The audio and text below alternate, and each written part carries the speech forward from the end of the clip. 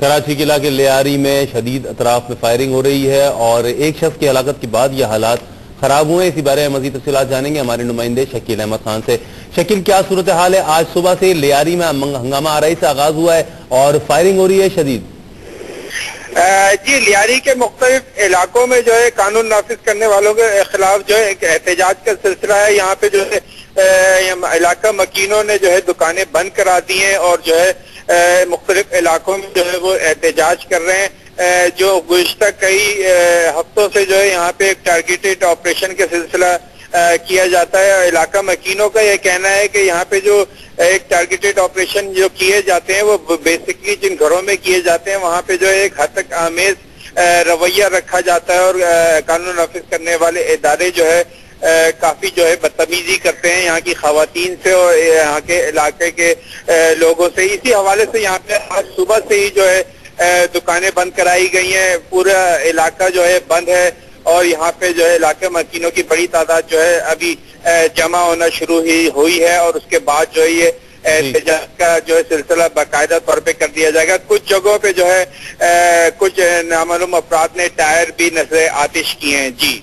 कराची की ली मार्केट में फिर से कशीदगी है, हवाई फायरिंग हुई है पथराव और जलाओ घेराव का सिलसिला फिर से जारी है। इस वक्त ताज़ा तरीन मनाजिर आप देख रहे हैं, वहाँ पर जलाओ घिरा हो रहा है, हवाई फायरिंग तक हुई है और पुलिस भी वहाँ पर पहुँच चुकी है और जबकि ली मार्केट में हवाई फायरिंग की जा रही है। दुनिया न्यूज़ के नुमाइंदे तारिक अज़ीज़ से मजीद जानते हैं। तारिक, अभी क्या हालात है इस वक्त ली मार्केट में? पुलिस क्या कर रही है?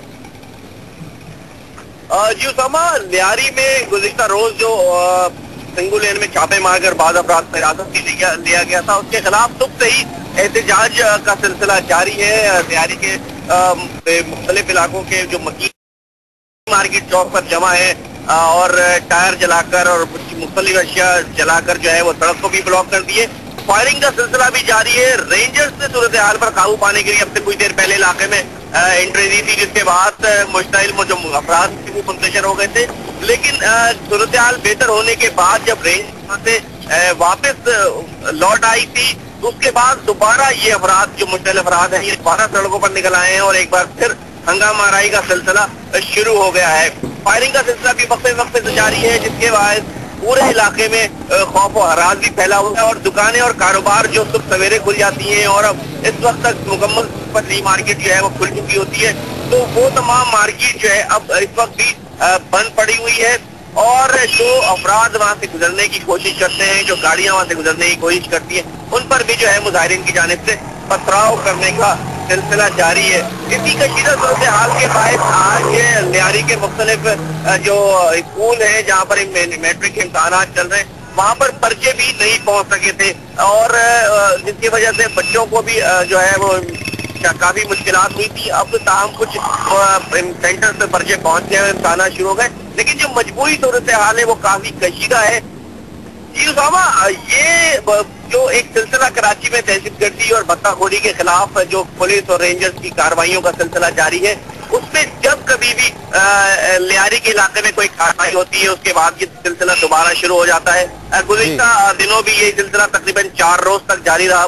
सूरत हाल कारोबार दुकानें सब कुछ बंद रही और इस दफ़ा फिर ये आज से ये सिलसिला शुरू हुआ है। पुलिस का रात कुछ अपना हिरासत में लिया गया था पुलिस इस वक्त जो है मुजाहरीन को मुंतशर करने की कोशिश में मसरूफ है लेकिन इस इब्तदाई तौर पर नाकाम ही सामना है। इससे पहले भी जो सूरत रही थी मुजाकरात हुए थे जिसके बाद ही ये सूरत हाल बेहतर हो सकी थी। और अब भी ये देखना यह है कि मुजाकराती अमल कब शुरू होता है? क्योंकि इन मकीनों को जबरी तौर पर फायरिंग करके या शेलिंग करके यहाँ से कभी भी नहीं हटाया जा सका। हमेशा मुजाकरात हुए हैं और उस मुजाकरात के नतीजे में ही लियारी में अमन कायम हुआ है। कराची में हालात कुछ इलाकों में एक मरतबा फिर से कशीदा है। कराची के इलाके लियारी में, ली मार्केट में, खड्डा मार्केट में और इस वक्त कराची में ईदगाह थाने के करीब दस्ती बम से हमला किया गया है, जिसमें एक शख्स के जामबाग होने की तलात है, जबकि दो अफराद इसमें जख्मी हो गए हैं। एक बच्चा इन जख्मियों में शामिल है, जिसको अस्पताल लाया गया है। एक और ताज़ा खबर है, कराची से कराची में ली मार्केट में घर पर रॉकेट हमला किया गया है। बाप जामबाग हो गया, जबकि बेटा और बेटी इस रॉकेट हमले में जख्मी हो गए हैं। इसी हवाले से मजीद तफसीत जानते हैं। दुनिया न्यूज़ के नुमाइंदे तारिक अज़ीज़ से। तारिक अज़ीज़, जख्मियों की हालत अब कैसी है? जो सरिश जो कराची डी मार्केट चौक पर खतरी मस्जिद से मुतसिल एक पाँच के पांचवी मंजिल पर एक रॉकेट आकर गिरा है, जिसके नतीजे में मोहम्मद हनीफ नामी शख्स बहाक हो गया है, जबकि उनकी दो बच्चियाँ जो हैं, वो शरीर जख्मी हैं और उन्हें अस्पताल से मुंतकिल कर दिया गया है। मुश्तिल अपराध ने लियारी जाने वाली सड़क पर पथराव किया और तारों को भी आग लगा दी। इलाके की सूरत हाल के बारे में मजीद तफसील हमारे नुमाइंदे आरिफ महमूद के पास है, उनके पास ही चलते हैं और जानते हैं। आरिफ, ये बताइए क्या इस वक्त फायरिंग का सिलसिला रुका हुआ है या जारी है और पुलिस क्या करी है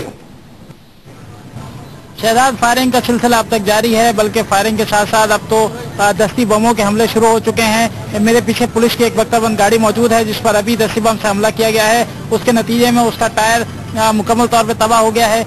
एक शख्स सबसे चंद लम्हे पहले यहाँ फायरिंग से जख्मी हुआ था, जिसे जो है वो तबी इमदाद के लिए पहुँचा दिया गया है। ऊपर छतों पर मुसल्ला अफराद ने मोर्चे बना रखे हैं, जहाँ से वो बरह पुलिस और मीडिया पर भी फायरिंग कर रहे हैं। मैं आपको बताता चलूँ कि बिल्कुल मीडिया पर भी अब से कुछ देर पहले फायरिंग की गई थी और बिल्कुल बाल बाल बचे हैं जो सहाफ़ी यहाँ पर इस वाक़े की कवरेज के लिए पहुँचे हैं। फायरिंग का सिलसिला जारी है। पुलिस सिंबॉलिक यहाँ मौजूद है पुलिस आ, किसी किस्म की कोई कार्रवाई पुलिस की जाने से हमें देखने में नहीं आई। इस फायरिंग के जवाब में पुलिस यहाँ पर ली मार्केट के इस कोने पर मौजूद है। पुलिस की बख्ताबंद गाड़ी जैसे ही अंदर दाखिल होने की कोशिश करती है उस पर दस्ती बमों से हमले होते हैं। अब तक तीन बड़े धमाकों की आवाज़ इस जगह से हमें सुनाई दी है और पुलिस के मुताबिक दस्ती बम से पुलिस पर हमला किया गया है।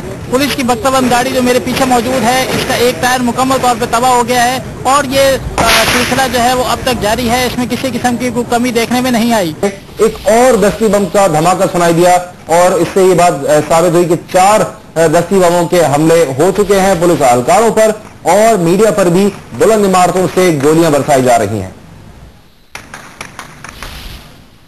इस बारे में हम आपको मजीद अपडेट भी देंगे और कुछ मजीद खबरें भी शामिल करेंगे एक छोटे से ब्रेक के बाद। देखते रहिए